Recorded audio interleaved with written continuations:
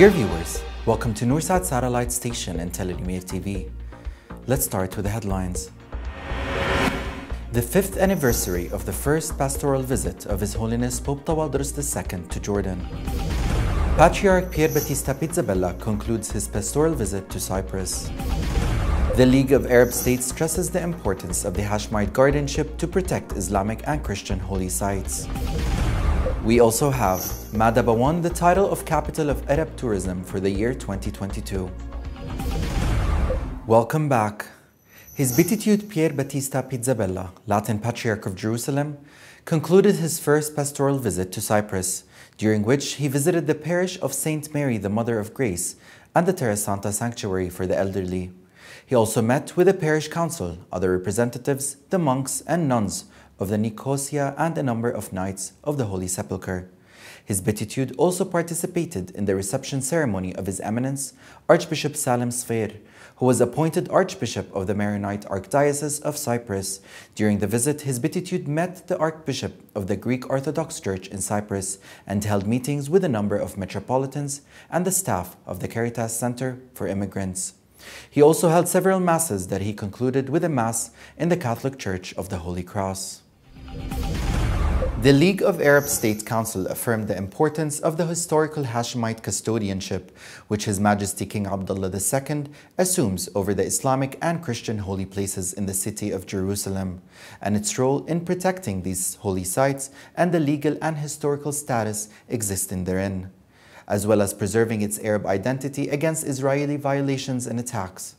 At the conclusion of its regular session, the Council valued all Jordanian efforts aimed at preserving the city of East Jerusalem, its sanctities, and its cultural and human heritage. These days coincide with the fifth anniversary of the first pastoral visit of His Holiness Pope Tawadros II to Jordan, which had a great positive impact in terms of tourism promotion of the holy religious sites in the kingdom.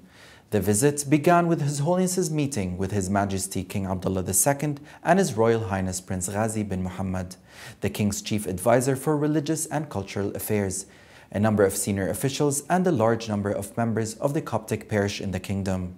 His Holiness expressed his thanks and gratitude to His Majesty the King for the great hospitality and reception he received in Jordan. And one of the stations of his visit was when His Holiness laid the foundation stone for the monastery of Anba Anthony in Madaba and raised the evening prayer at the Church of the Virgin and St. George's Church in Amman. Then a visit to Mount Nebo and the site of the baptism of Christ.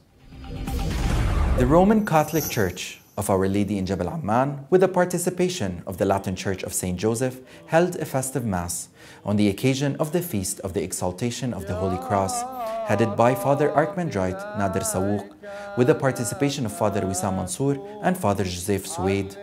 Father Suwaid emphasized in his sermon that the cross, it is the key to life and our spiritual weapon. It is a sign of the victory of love over hatred. A candlelit procession was organized and prayers and supplications were raised that may God preserve our homeland in its security and stability, and may peace reign throughout our dear East. Then, an evening of hymns was held in the courtyard of the St. Joseph Latin Church, followed by setting fires and distributing pomegranates.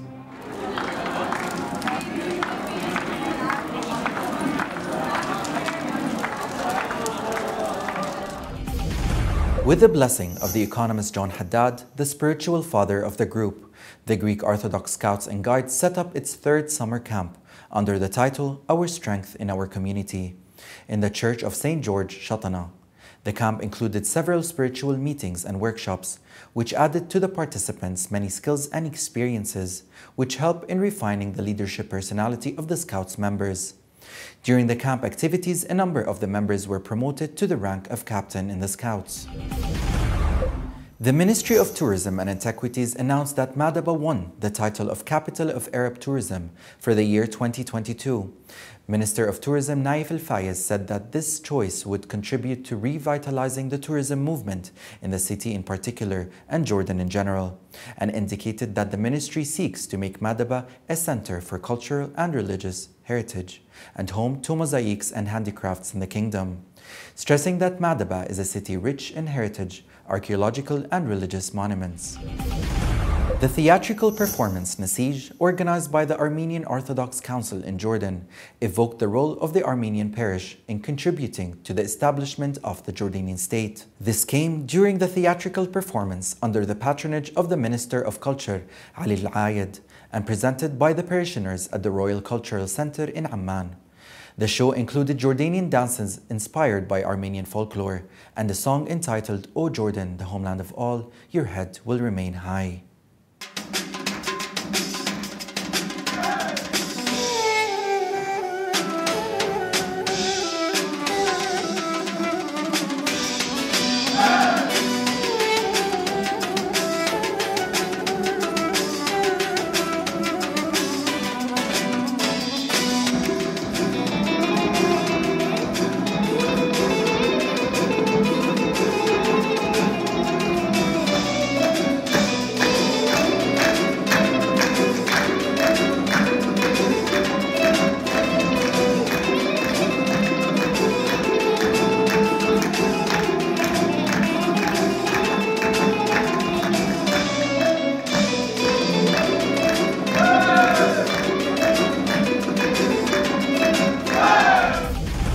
Dear viewers, we have come to the end of our news, and those were the headlines.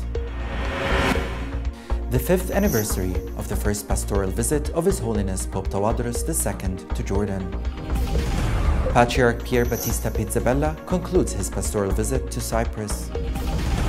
The League of Arab States stresses the importance of the Hashemite guardianship to protect Islamic and Christian holy sites.